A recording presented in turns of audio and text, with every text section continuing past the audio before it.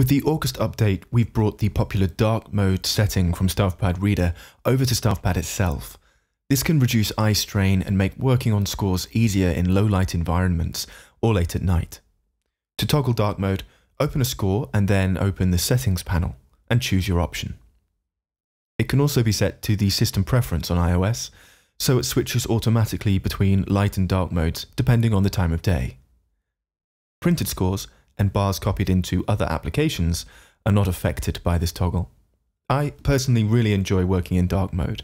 It takes a little bit of getting used to at first, but it can be really useful on those long writing sessions.